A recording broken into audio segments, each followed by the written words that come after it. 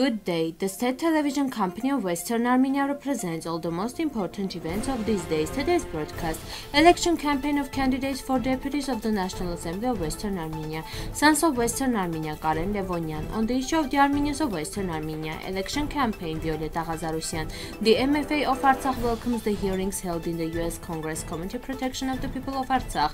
Armenian prisoners are being tortured in Baku. A human rights defender sent a message on the day in support of victims of torture, Vice President of the Artsakh Football Federation. The national team is preparing for the qualifying match against Abkhazia. The Election Commission of the National Assembly of Western Armenia invites you to participate in the seventh Zoom meeting in English organized as part of the election campaign for the National Assembly elections of December 2023. The meeting will take place on June 29, 2023 at 8 o'clock French time and 10 o'clock Yerevan time. The topic of the meeting is the Constitution of the Republic of Western Armenia. Levon was born on August 13, 2000 in the city of Sevan. Since childhood he practiced karate martial arts. After a while he stopped participating, disappointed when during one of the competitions his opponent was injured. He studied at Sevan Secondary School number 6, after which he was admitted to the Faculty of Law of Yerevan State University. In the future he was to become a military inspector. In 2020, Levon dropped out of the third year of school and left for compulsory military service, serving in the Martuni 3rd Military Unit. In one of the interviews, Levon's mother Angela said during the whole war his voice never once trembled when he spoke to us. It was he who gave us hope. He believed in victory. He kept it a secret that he was in a safe place. For the last seven days he only called for half a minute. All the time I hear the sounds of bomb explosions. I forced him to tell the truth. I found out where he was, in the village of Karmir Shuka. His fellow soldiers and the platoon commander told about the heroism of him him and his platoon. None of them left their positions. They fought valiantly. My son was only 38 days old, fought for 34 days, and was martyred on October 30 as a result of a drone attack. Before that, they managed to shoot down the enemy's armored unit advancing from the Hell Valley towards Shushi. For his outstanding achievements, Levon Levonyan was posthumously awarded the War Service Medal by order of the President of the Republic of Artsakh, Araik Harutyunyan. His body was buried in the family cemetery in his native village of Gomadzor, Levon is only hero of Gomadzor. There are many definitions of cultural heritage. In all cases, two components need to be taken into account. What is culture and what is heritage? To avoid using too many terms, let's concentrate on the living heritage approach, the practices, knowledge, and know-how handed down from generation to generation, which evolve over time but continue to live and remain viable. Viability is the first indicator that heritage exists, has been, is being passed on in changing and continually plays a certain role in the life of the community. This role may change from an initial function to something entirely new, and change is linked to living cultural heritage. The phenomenon of this change should be recognized as cultural heritage is not a fixed situation, and on the contrary, only when it is mobile and vital does it generate a sense of group pride, creativity, and satisfaction. There is perhaps a risk of an essentialist understanding of culture in its formulations, in which case any group of characteristics is characteristic of any community group identity. However, the meaning of cultural heritage heritage is to come before those group identities. For which groups is cultural heritage important? In general, the conversation about cultural heritage boils down to bottom-up democratic and horizontal approaches. However, for this to be possible, international arbitration is formed which defines obligations to safeguard cultural heritage. The problem of safeguarding and preservation stems from the importance of tangible cultural heritage of the history of mankind. Yet from a certain point onwards, the international agenda shall release the importance of intangible heritage, the diverse knowledge and practices accumulated over the course of mankind's existence. It was defined by its vitality and its ability to be transmitted from generation to generation.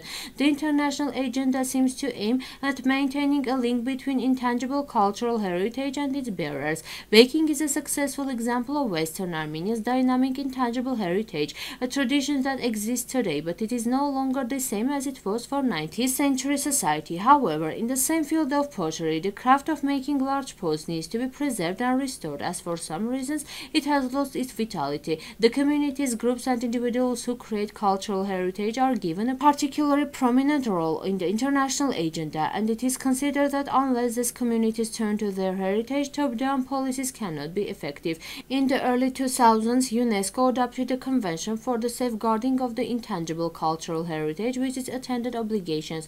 To understand the role of heritage in the life of communities, certain tricks are necessary, requiring special knowledge and approaches. Intangible cultural heritage includes the following areas oral traditions and practices linked to language and speech, sayings, fables, fairy tales, prayers, and other verbal formulas which have a certain importance in the life of a given community, regulate social and interpersonal relations, performing arts and skills, vocal and instrumental performances, and their role in community life. This includes solo songs and group and individual dances, and folk theater. These are social practices and rituals that continue to carry out their social functions and have not lost their content. Folk knowledge of nature and the universe, traditional crafts and related skills. Violetta Ghazarosyan was born on May 8, 1975 in Yerevan. Since 1982, she has attended secondary school, 124, graduating in 1992. Parallel to school, she studied at Music School number 18. From 1993 to 1998, she studied in the English department of Valery Brusov University. After graduating, she worked in a hotel in Erebuni. In 1999, she moved to Marseille, France. She has worked in various Armenian organizations. In 2005, during Samvel Karapetyan's exhibition conference in Marseille, she had the opportunity to meet Armenak Abrahamyan, president of the National Council of Western Armenia. She began working in the Western Armenian structure as a secretary. She was elected a member of the Parliament of the Republic of Western Armenia and worked as the parliament secretary. She is now vice president of the National Assembly of Western Armenia. She has taken part on several occasions in the United Nations Indigenous People session representing Western Armenia. She has also helped organize plenary sessions conferences and roundtables for the National Assembly of the Republic of Western Armenia in Marseille and other cities. You can find Violetta Ghazarosyan on our YouTube page, Western Armenia TV. The Minister of Foreign Affairs of the Republic of Artsakh welcomes the hearings on the protection of the people of Artsakh that took place on June 22 at the Tom Lantos Commission on Human Rights under the U.S. Congress. We extend our sincere appreciation to all the organizers and participants of the hearings, including Congressman Adam Schiff, Chris Smith, James McGovern, Frank Pallone, and former U.S. Ambassador to the Republic of Armenia John Evans for their efforts in raising awareness about the illegal and aggressive tendencies of Baku and for advocating for the rights of the people of Artsakh. The Minister of Foreign Affairs of the Republic of Artsakh has been informed that during the hearings, the U.S. congressman emphasized the need for the U.S. leadership to take all possible measures to protect the civilians of Artsakh and to prevent further escalation that could lead to new wars and crimes. We believe that conducting these hearings in this format is an important step, both politically and morally. The expansionist and militaristic policies of Baku pose a serious challenge and threat not only to the Armenian people and Armenian statehood, but also to regional stability and the civilized world as a whole. Armenian prisoners of war and civilians detained in Azerbaijan are subjected to torture and inhuman treatment. RA human rights defender Anahit Manasyan sent a message on this subject as a part of the International Day in support of victims of torture. She stressed that this circumstance must be properly assessed. Any war or threat of war, domestic political instability cannot justify torture. In its annual and special reports, the RAHRD has always highlighted the inadequacies of the compensation mechanism for intangible damage caused by the violation violation of fundamental human rights. These are particularly evident in the absence of compensation structures for intangible damage caused as a result of inhuman or degrading treatment or punishment, says the message.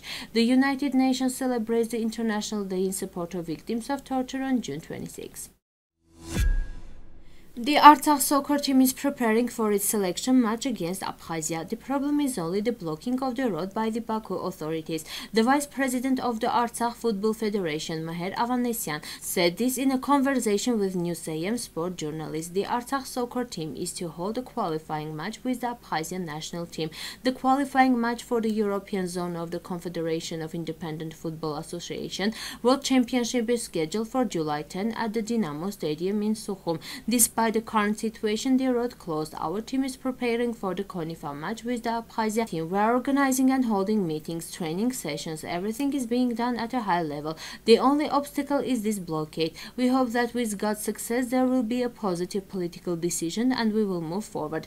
We are provided with everything. The team lacks nothing. Since we are talking about the national team, we are ready for anything with the team. The coaches and the support staff, whatever happens, even if we don't have food, we'll get ready for this match. If this situation didn't exist, we would have played Abkhazia here close to home. Because of the situation, CONIFA decided to organize the match in Abkhazia, said Meher Avanesyan. The final tournament of today's World Cup of Nations not recognized by the United Nations will be held in Kurdistan in 2024. Recall that in 2019, in July-June, the Championship of European countries not recognized by the United Nations was held in Artsakh, in which also participated a soccer team of Western Armenia. Thank you for your time and attention. Now the musical part, the Armenian folk song.